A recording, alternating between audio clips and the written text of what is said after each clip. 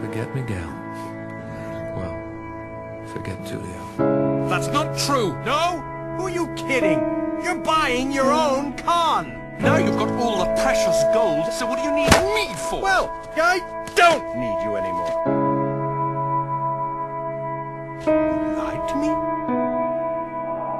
All those arrows you threw, you threw